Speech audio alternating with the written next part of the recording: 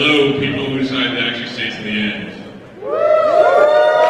Yay! We're in for a treat because those of you that don't know Mike, well, I apologize in advance. I don't think he's drunk enough yet, but we'll see if we can get him. drink. I concur. Enjoy. Oops, look up the donkey. Hello everybody, I'm Minerva, how are you?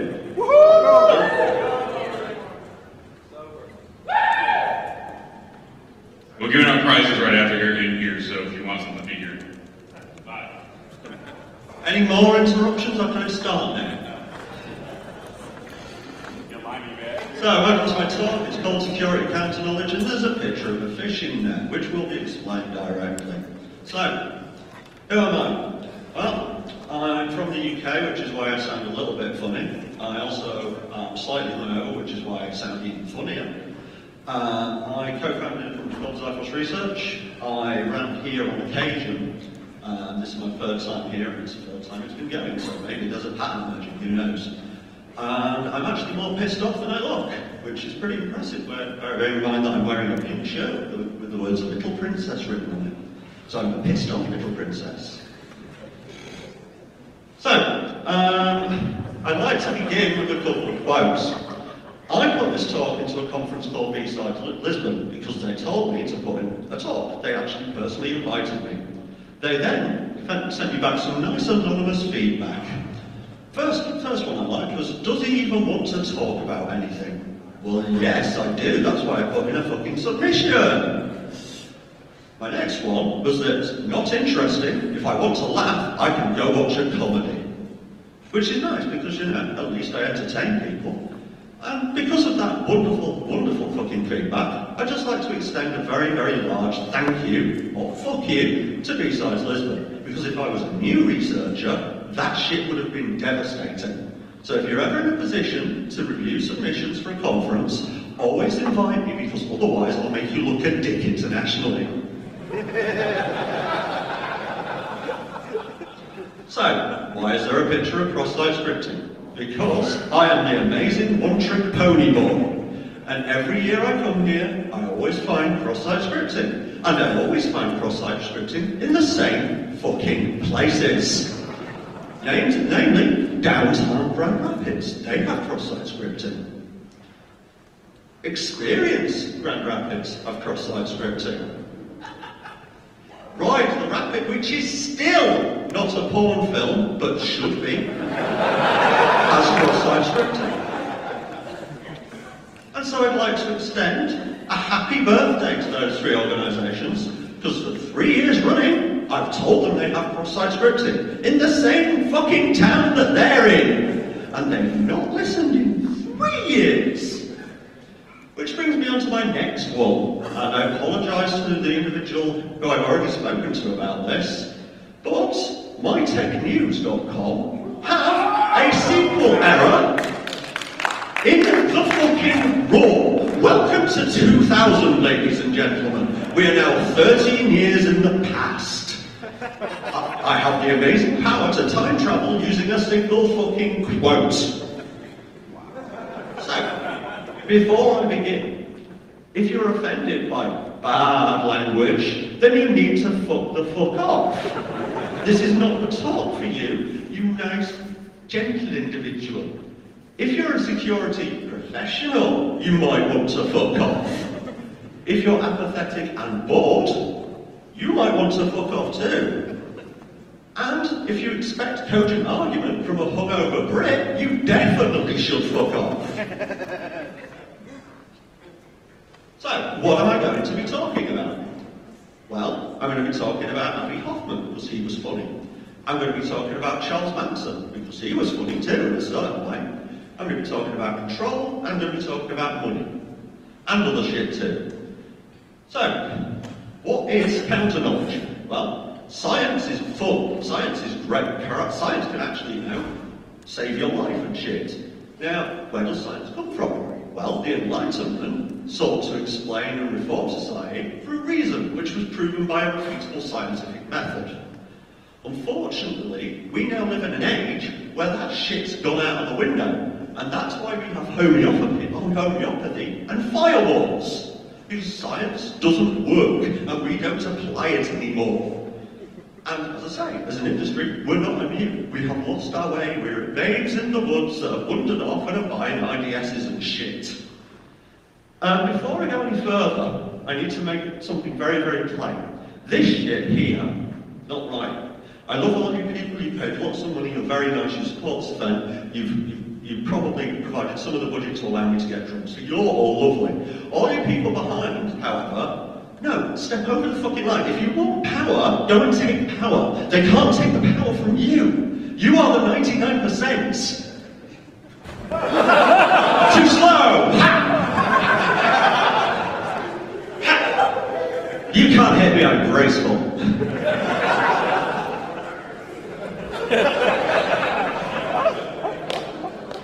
You'll get tired before I do.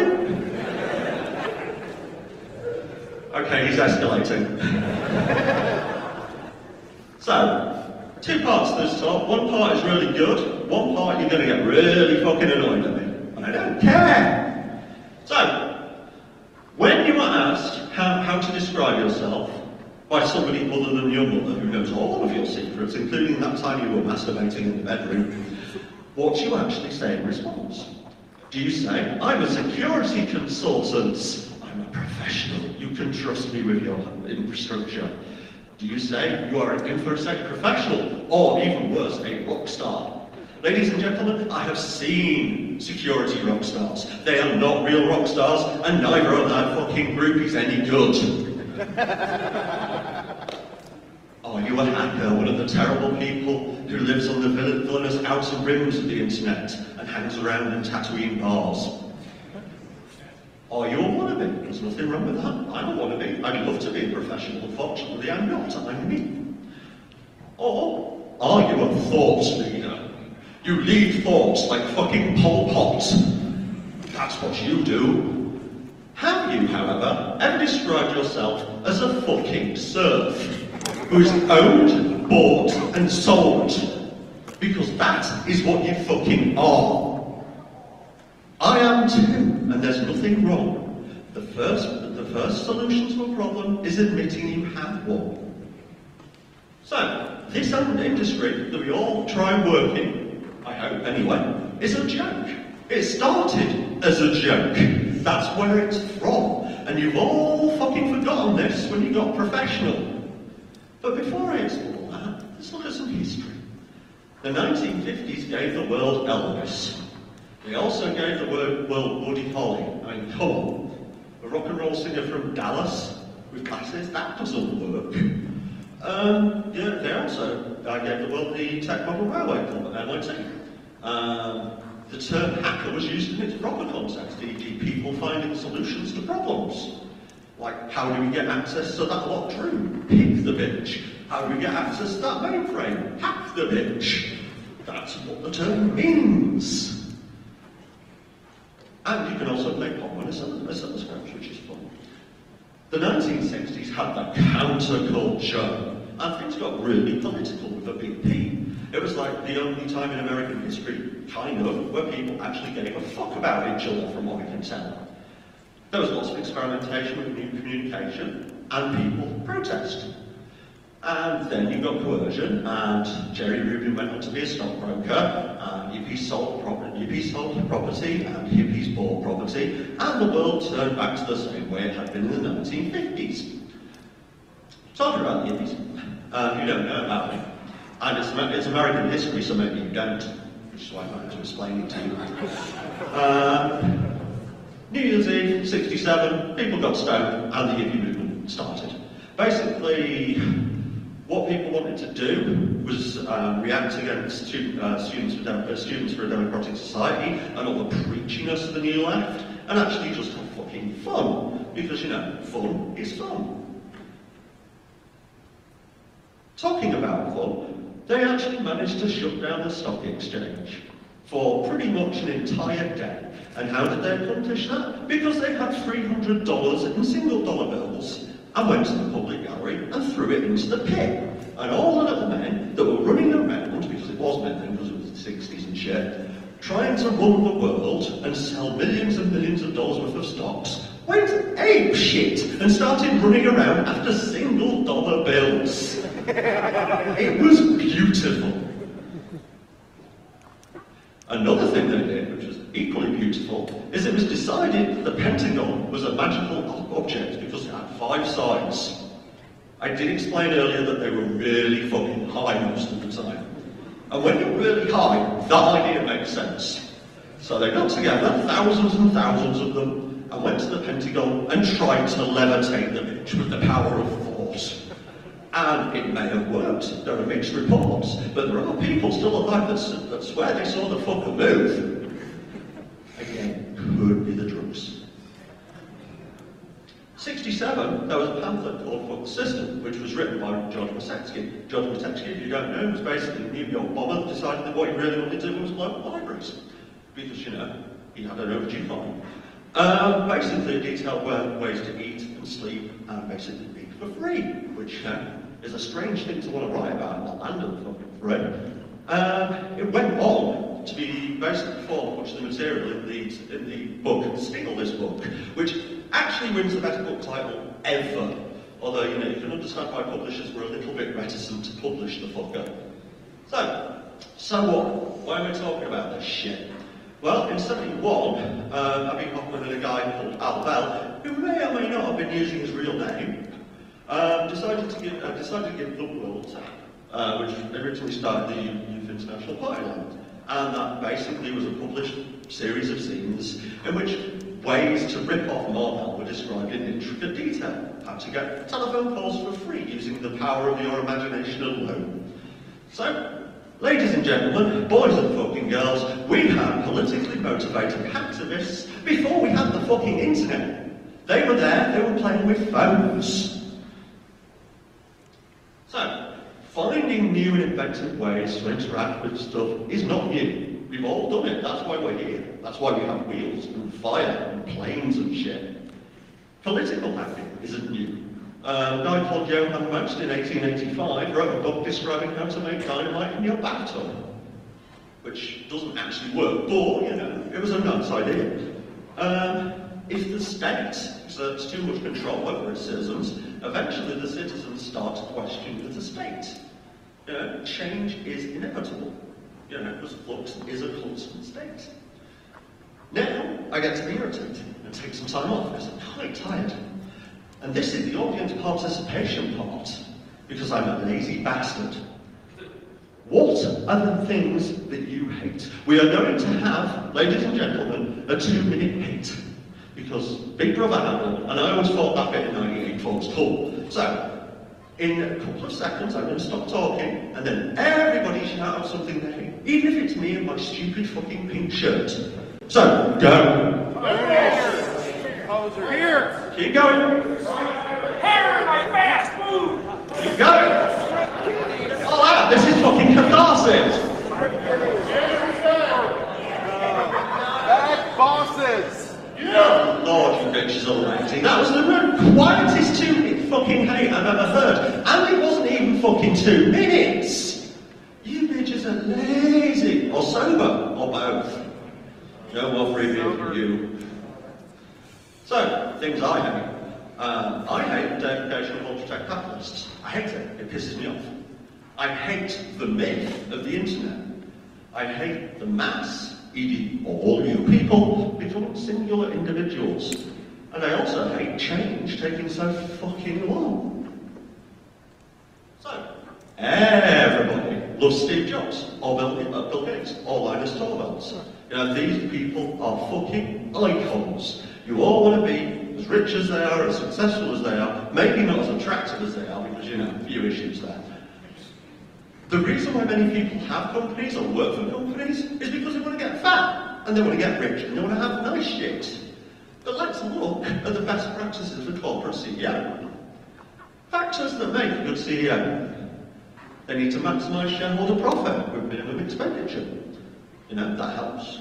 They need to engender the loyalty of the group. They need to suppress actions that may be disadvantageous to the group or business goals.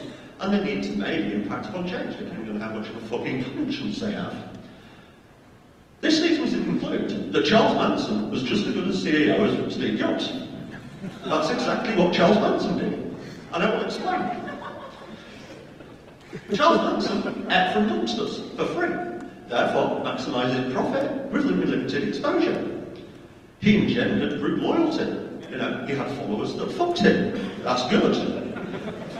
He suppressed actions that may be disadvantaged to to his goals by chopping people's heads off. That may be bad. And he may or may not have impacted upon change, depending on whether he chopped off your head. Therefore, Steve Jobs, as good or as bad as Charles Manson.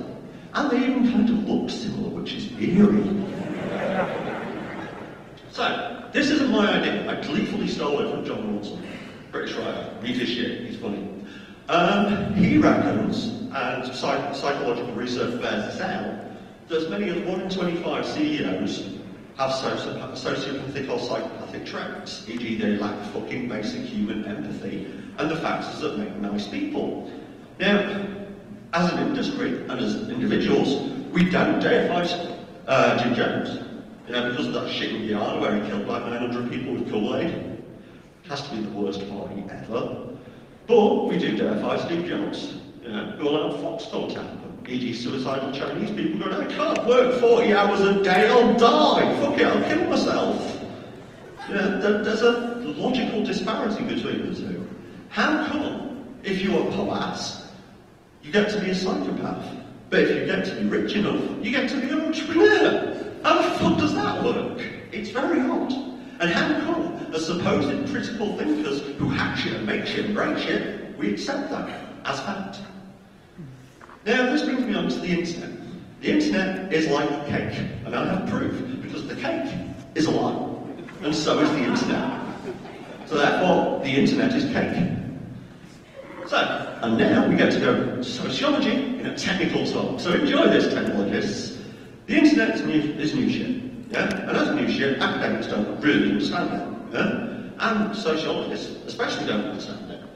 They largely agree that the internet affords users to impact on comms, uh, to, to get involved in politics, to consume, consume services and goods, to look at pornography, which is the important and cross geographic and spatial boundaries. That, happily, because it's spoken by sociologists, is largely bollocks.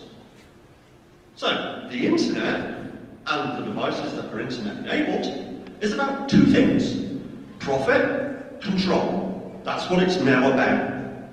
The internet comes from ARPANET. Everybody knows this, there are books written about it. And in the 80s, the US government, by way of the National Science Foundation, and private telcos, e.g. big corporates, got together and put all the networks together, and that's why we have the internet. Now, without government funding and private corporate funding, we wouldn't have the internet. We would not have the cake. The cake would not exist, because academics can't get shit built because they haven't got any fucking money.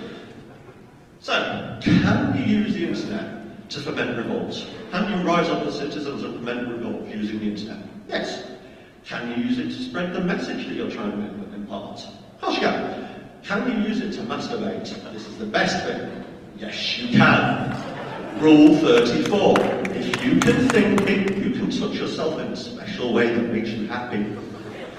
Can you use it to buy socks? Yes, you can. And can you use it to do your job? Yes, if you can stop masturbating. So, can you do any of that with any degree of anonymity? Probably not. Given what's been said about SSL, you probably can't get away with it no more. Now, the media and much of the wider population, especially here in mainland Europe and Britain, we don't give a fuck, because you know we've got cameras everywhere. They're all shocked about PRISM. Everybody had a freak out. And you know, people are rightfully a bit pissed off. But you, because you fucking shouldn't be surprised. Who would have fucking thought it that a government-funded of technology was going to be used by governments to fucking spy using their spy agency? Oh my god, what a fucking shock, however could it have happened? The internet is doing what it's there for, allowing for intelligence agencies to gather fucking intelligence. If they weren't reading your email or retaining your data, they'd be failing their jobs. They're doing what they, they are paid to do. Now, lots of tech talks reference Orwell. Oh, I did it. It was fun. I got a minute off. Few talk about Huxley. Huxley wrote a book in 1931 called Brave New World. In Brave New World, he described a society that was avaricious, consumer-driven, where culture was trivialized, and everybody was fucking everybody else. Like, literally. What does that control, what does that actually, you know, remind you of a little bit? It's the motherfucking internet. That's what it is. You know, look at the sites of that. You've got Entertainment Weekly or whatever it's called, which basically trivializes culture up the arse. You've got Amazon, which allows you to buy all the shiny things you want.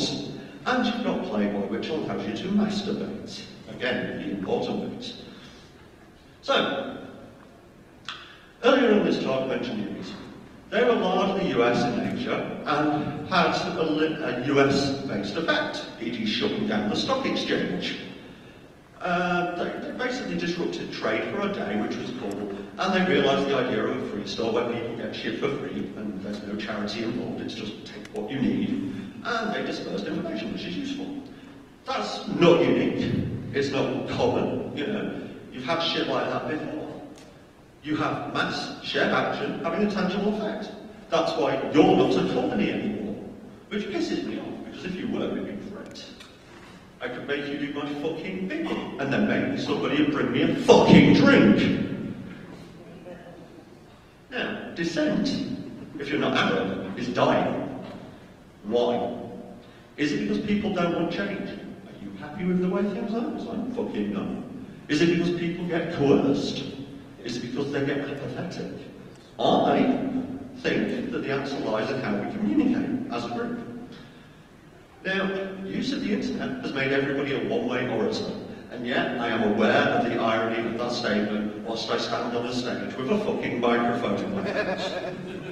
now, if you're remotely technically aware, you are also aware that you're going to be surveilled, even if it's just by Brian Krebs trying to write an article because you sent him some drugs. Nobody ever sends me fucking drugs. There's a public show, and I have free drugs, because I won't write an article about it, I'll just use that shit. Now, if you, if you are remotely aware that you're surveilled, you can, there's a little subconscious fear of talking about anything to anyone because you know, you know that other people are listening. Thus, what is in effect, a technology for communication doesn't allow people to communicate freely. Basically, the internet has two rules. Shut up, spend your money. That's what it's there for.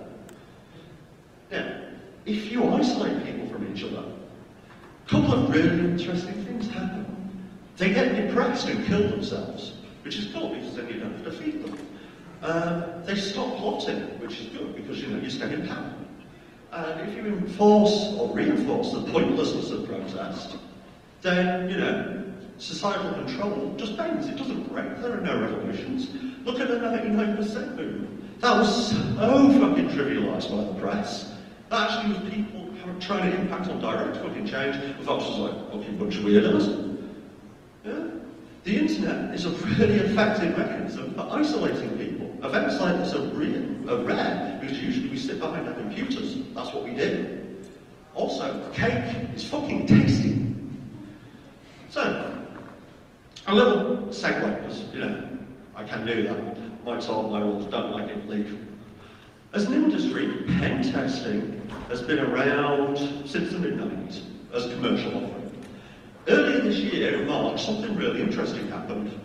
Um, you had the Carna botnet, which basically scanned the entire IPv4 address space for Telnet and used default creds to try and bust its way in. And then once it was in, went off and scanned other hosts. That's what it did. It gained access via Telnet to 420,000 hosts. So, it also made pretty graphs which light up and everything is cool. So, what we had was an utterly, utterly illegal order that was utterly, utterly fascinating. You know, it was great. This shit should have been sponsored. We are, as an industry, failing, and we continue to fucking fail. Out there, right now, are 420,000 boxes with default creds on one port. Now, if you extrapolate how many other computers there are, that could get frightening. Oh, look at this. Thank you, darling. And it's even proper, see? It's real beer, not that American pish that you drink. now, my conclusion, other than set piss out of breweries in the beer state, in the beer country or state or town or wherever the fuck I am this week. Thank you. My conclusion is that many people out there don't actually fucking care at all. That's why you've still got 420,000 boxes with open fucking telnet. Because people don't give a fuck. No matter how much you try and terrify them, people don't care. We fail. So, this brings me to part two of my talk, in which I actually talk about something shiny.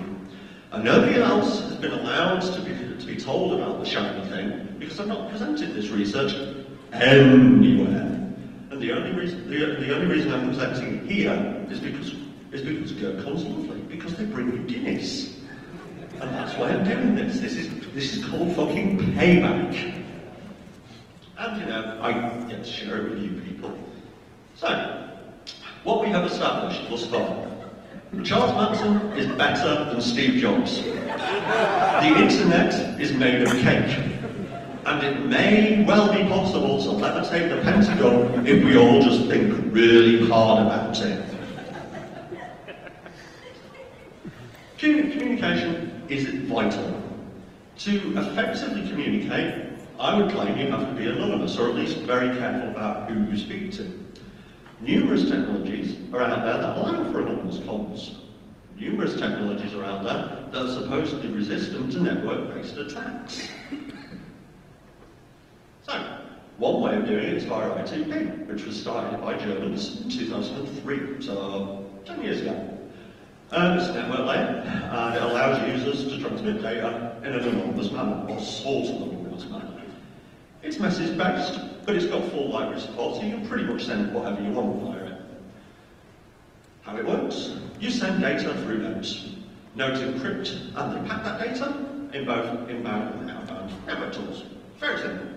It's transmitted data, and it's circulated at the endpoint, and the encryption gets taken off. Um, it's, a software, it's a network layer and can be used with secondary software because it's network based. And as well as the network layer, I2P, like Tor, has got their own TLD.I2P, which are called eepsites, which can be anonymously hosted amongst the I2P network. Addressing is resolved via a proxy, and you know, all plays very nicely. That's what the router looks like if you were to put it on, on your systems. Now, as a network and transit layer, it offers a strong degree of encryption, and it has anonymous routing-ish. But it has flaws. It's decentralized, and it's not dynamic. Uh, data is passed by peers, and that the way it's transmitted via the network is changed every 10 minutes, which means there's a transient tool trust one which is, you know, there for 10 minutes. It's point to point, and there are lots and lots of issues with I2P addressing. You know, stu- see the stuff by Adrian Crenshaw, through Andy, it's fucking fascinating. It's much better than this talk, this talk shit. You should go watch that one. You've also got friend to friend. Uh, the guy who came up with VisiCalc, who knows how to write a spreadsheet, came up with friend to friend networking. So spreadsheets, anonymous networking. Yeah, I can see the connection there, that works. Now, that again is direct peer-to-peer network with known third parties, e.g. your friends. The clue is in the name. What you do is you pre-shared information, be it a password, be it a certificate, and you use that for authentication. Lots of shit uses it. Waste, Freenet, RetroShare, blah blah blah blah. It sounds great on paper, but it's not, it's not without flaws. Users of F2F have no mechanism to establish who else is using F2F other than their friends. So, you know, just because I'm friends with you, I don't know who you're fucking friends with. And your friends could be, I don't know, the fucking government and shit. In fact, uh, some people here that probably do have friends with them. Uh, And I'd like to say a very warm welcome, and I'd also like to thank you for the welcome I received, where Border Control went through all my shit for two hours and asked such interesting questions, such as holding up a bottle of whiskey and saying, What is this? And the correct response to that is not happiness in a bottle. Also, when you are flying on September the 11th and they say, what day is this? The correct response is not Wednesday.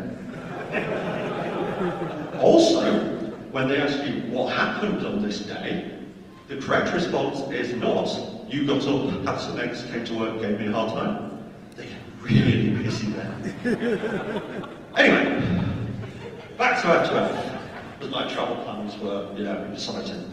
Basically, um, it's point to point, and as I say, you exchange data with friends, but you don't know who, friend, your, who the friends of your friends are.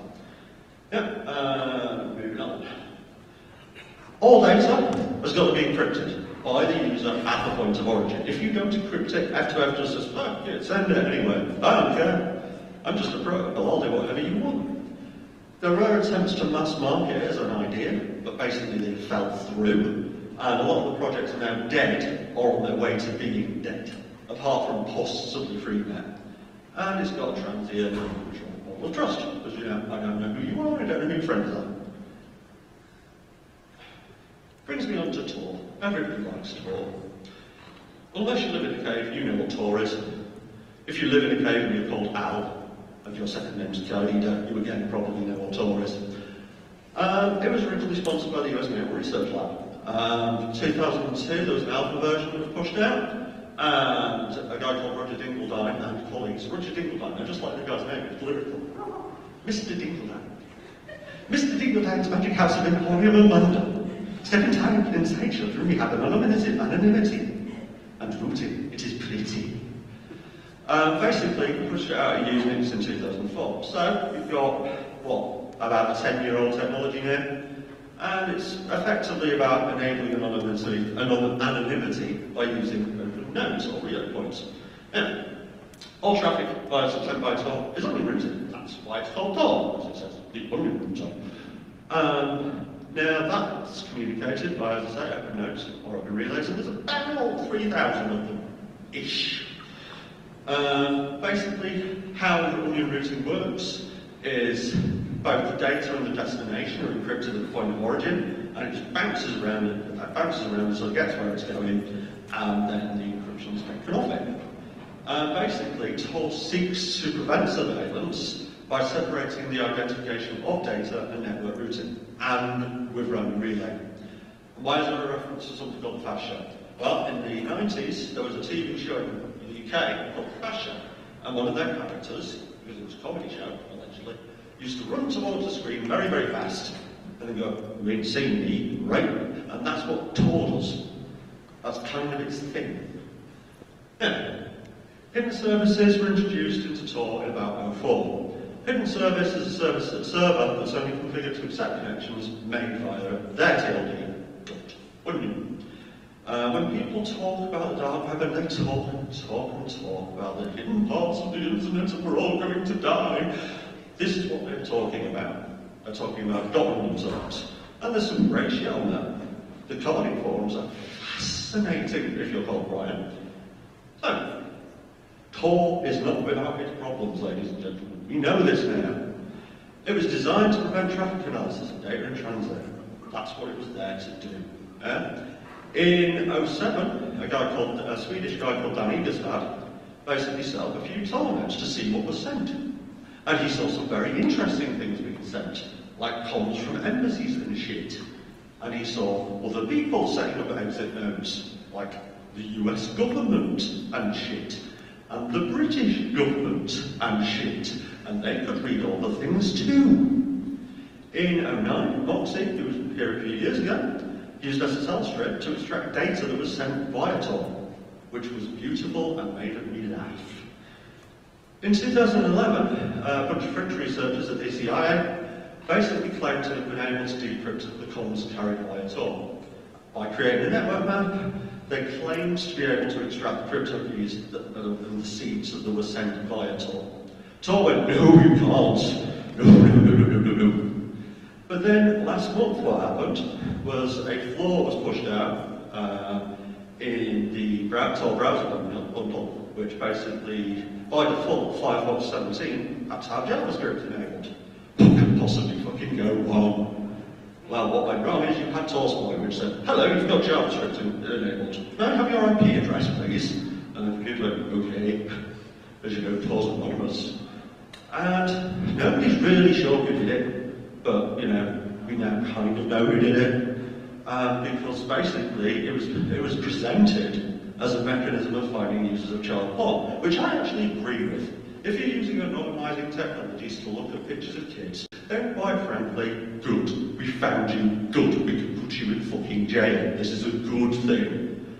However, the same company that allegedly hosted lots of the Dominant CP sites also, also hosted Tormail, which again, anybody who visited Tormail on their shit with Firefox JavaScript enabled got their IP sent somewhere. Who could possibly be interested in Tormail? Who could possibly be interested in the activist sites for that? Who knows? Maybe it was the same people that wanted to look up predators. I don't know. In July this year, um, well, we heard about in September, this month, I'm at least fucking current, if not entertaining. Um, the US Naval Research Lab basically did some research on identifying Tor users as traffic correlation. Um, so the guys that invented Tor then broke Tor. so good, good work, guys. Took you 10 years, but you got there. Basically, if you are or have access to an autonomous system, which um, will typically find in ISP land, or if you can monkey with ISP, you can map routed traffic. That's its point. And that's what they did. And they claimed that it found 80% of all Tor users. Identified, found, know where they are, know who they are, know what they're looking at. They just have been trying to take the shine out of PRISM by saying, look, we can do that shit too, and we're an US Navy. Now, nobody, of course, would mess with an autonomous system. Unless, of course, you actually went to the BGP talk at DEFCON, and now you know how to mess with an autonomous system. Or you were a government, because they go to DEF CON too, you know. Now, this leads me to conclude that, you know, would you, as a government, admit um, a technology to be opened up to the public from, you know, effectively a branch of the government, e.g. the fucking Navy, if you don't know how to fucking close it down again? I don't think you would, that would be stupid, even by American standards. Now, Tor is not a false flag, I am not saying that. Yeah? It is a fantastic bit of logic and a fantastic application of anonymity. Yeah? It does have shit wrong with it though. And we're finding out that there's more shit wrong with it. Like the government actually know who 80% of people who use Tor are. That's pretty fucking wrong for an anonymizing technology. It's not an anonymous thing. It has failed. It has ceased to be. So, the internet pisses me off, as you may have realised, because it is in fact not cake, and I cannot eat it. It does allow me to masturbate though, so, so you know, it has redeeming features. Anonymity pisses me off. Because when most people think about anonymity, they automatically think about child porn. And just because somebody wants to be anonymous doesn't mean they want to interfere with kids. And I kind of resent that fucking implication. You know, the only people that are interested in anonymity are terrorists, child molesters, drug dealers, or dissidents. Now, I'm kind of a bit of dissidency, as you may have realised at this point, but I'm sure as shit not child molester. I probably will at some point be classified as a terrorist, and that would be hilarious, because then I get a free trip to Cuba. I mean, the random reaction you get to um, stuff like uh, F2F and the fact it's struggling and nobody's taking it up is, is summed up beautifully by this statement.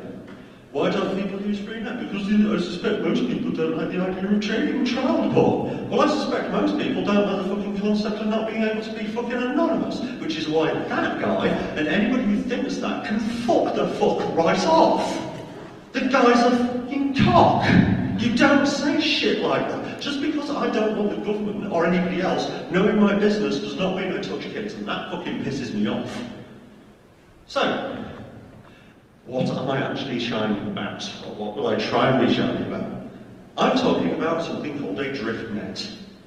Um, it's first discussed here, and it's first discussed now. Are you sitting comfortably? I hope so, because I'm about to begin. This is Julian. Julian's Australian. He's got shiny hair and thinks he's in the Matrix.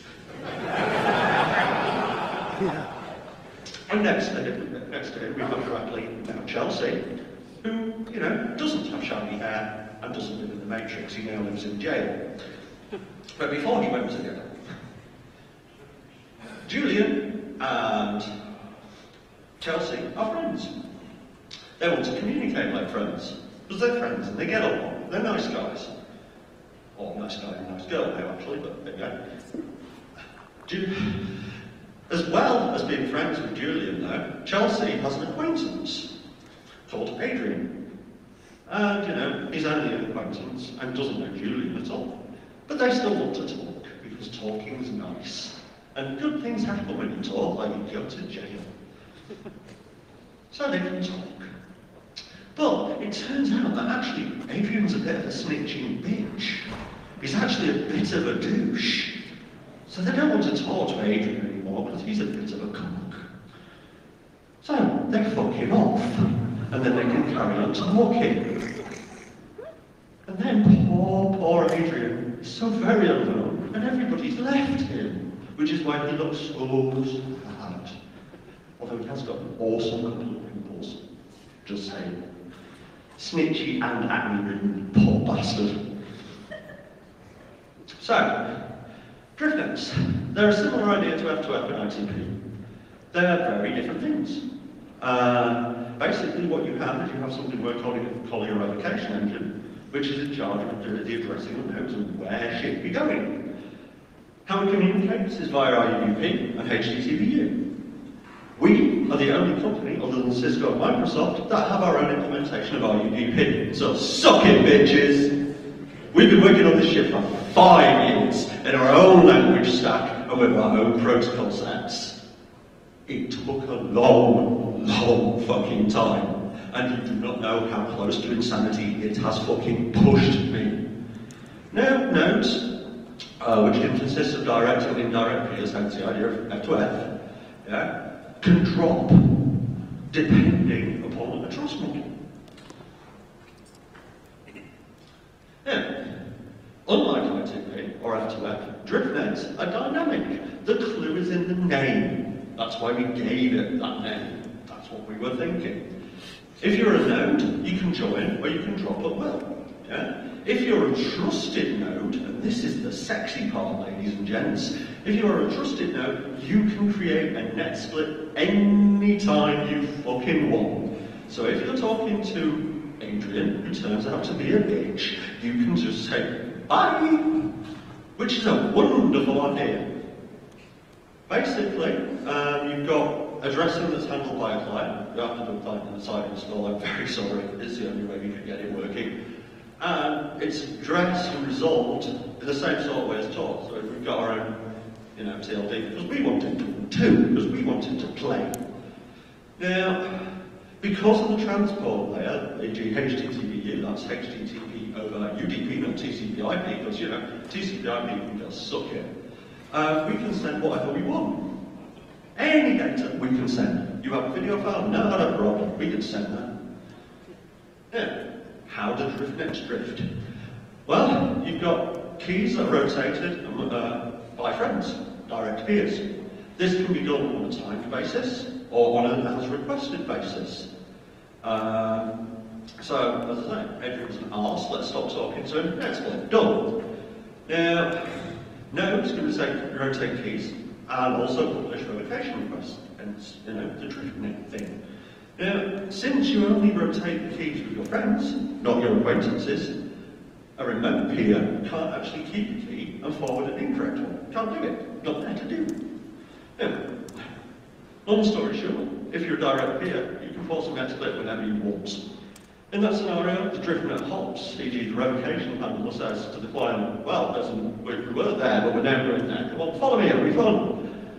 And basically, carries over everything and everyone, apart from unwanted third parties. So they'll suck it. Now, you can drift around, you can drift wherever, you can drift wherever you want, you know, issuing a revocation request, or it does it as a matter of course anyway, just because, you know, you can't shoot what you can't see, ladies and gents. It's a good idea. We have stolen a shit ton of ideas. Freely, I freely hold my hand up. We ripped everybody off that we could. Just because, know, we are lazy bastards. We stole the idea of the circle trust. We stole the idea of onion style addressing. We also nicked the idea of onion style encryption because it works. so you steal what works. We're also doing a few things that are different. We do addressing differently. I'm not telling you how we do everything differently because then you steal my toys. And fuck you, work it out. We had to.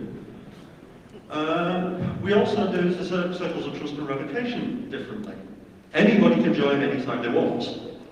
If they're not recognised, however, there's a next bit. So the government comes along and says, that looks interesting, let's have a look-see. They try and join us and of course they can, but then the driftman goes, I don't know you, you can fuck off. Which, you know, does make surveillance a little bit trickier. We don't have session state. I'm not, I'm not going to actually um, claim that we did. But we do deploy and manage certain carefully. That's how it works. We also have our own implementation of transport layer. And we also have the idea of nodes and the revocation engines creating exploits. Now, we also have a way of messing with traffic analysis, which may involve sending encrypted knobs, which may have route traversal information, which may also have the line, lol, just kidding at the end. because, you know, we're dicks. Now, what we've got, though, is a decent F2F implementation with a custom stack. And the important bit, the mobility of addressing over time, or as it relates to an incident. Shit be bad, let's run away. Now, what I think this means is you can't shoot what you can't see. Unless you want to get really fucking bored as a hunter, you have to be able to shoot what you can fucking see, or have access to nuclear firearms and then, or nuclear weapons, and then you just press a fucking button and take everything out. I also think the public internet's fucking doomed. Absolutely fucking doomed. Because people are getting increasingly aware that it's a lie. I mean, I hope you are. If you use the concept of drift DriftNet and addressing the DriftNets, you can greatly increase the surveillance overhead. Really, really fucks with them. It's funny. You can also, however, reduce attack exposure. Because as an attacker, how are you going to attack what you can't find? It makes shit really hard. You know, you can't just blindly send shit off because there's not, nothing to send shit off to. And if anything does ever tap it, you can do a net split on it anyway. Because that shit happens by, you know, default. And my other conclusion is we all need to be slightly concerned about privacy and thinking of new solutions to ensuring we stay private. What are we going to do with the idea? Well, we've got an internal POC. It's slow as crap and it's grungy and dirty and horrible, but it works. I'm proud to say it works. All of this is written up in our language stack, our proprietary stuff that we wrote, because we know we're amended too, we've got to have proprietary shiny. And we're not sure what we're going to do with it, which is why I'm here. I don't know whether to make this commercial, which means we've got to provide support and do nice things like that. Fuck that, I ain't answering fans. Or we can make it open source and give it to you people and you can have fun and then I get to be called a terrorist and get free trip to fucking Cuba. We're working on ma- making something stable and our, hope is to get that out by the end of the year or beginning of next, depending on how much time we actually can, you know, steal off our clients when we should be working on their shit. Um, and we need to make absolutely implicit that it works. Because if it doesn't work, then it's fucked. And I basically wasted your time, which I don't like doing. I have wasted my time for the last five fucking years, which I definitely don't like doing. Now, I've got some conclusions. As security professionals, or fucking serfs, depending on how you see yourself now, um, or indeed just as people that give a fuck, we need to start speak, speaking and thinking about privacy. And not just thinking it's for the paedophiles or the terrorists. Now, governments, whether they're despots or not, don't like privacy. Now, we also have to start using tech instead of letting it use us. And, you know, as a citizen of a state, you know, privacy is a basic need. This is why you live in a house that has doors. That's why you have doors. Which I find ironic that the biggest OS is called Windows. goes in the name. Now, you may have thought that you just sat for a sales talk. I used the word I used the word fuck too much for this to be a sales talk, so that's why you haven't. Um, what you have sat through is our implementation of DriftNets. The concept, however, is yours. Take it, steal it, do something good with it, please. You know, I have no problem having a fucking competitor, be it open source or a commercial one, as long as it's doing the same thing and we get privacy back. So take this idea, please. Rip me off. This is an open invitation to rip me off. Because if everybody has a private mobile network, and I'm not talking about GSM mobility, I'm talking about addressing mobility. If everybody has got one of those, surveillance becomes really fucking prohibitive. You have to do things like go to telcos. And if you do things like go to telcos, telcos what's called fucking reporters. That's the fucking point. If everybody has a private mobile network, the attack surface isn't there. I can't attack you because I can't fucking find you to attack you. That's the point. This breaks our industry. Fuck you. I've made you all redundant. Ha!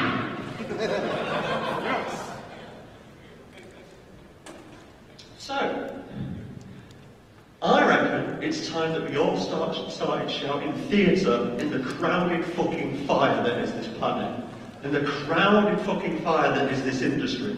We need, as individuals, responsible, ethical, moral, fucking human beings to start shouting theatre. And what you need to decide for yourselves is whether you're a fucking hacker or a serf. If you are a hacker, you get shit built. That is your fucking job. Fuck your house, fuck your car, fuck your boss. Build something. I don't fucking care. That is your job. And that is the message I'm trying to get across. You people need to make shit. The same way we make shit. Do it, take it, steal it, it is yours, be gone. I am done. If you have any questions, shout them out. I may or may not respond. In fact, I won't respond because it's five o'clock, so fuck you. If you have questions, come and find me.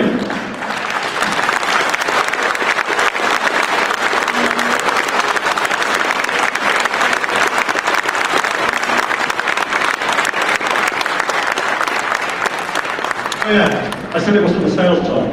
If you want to hire us though, you can. Thanks, bye.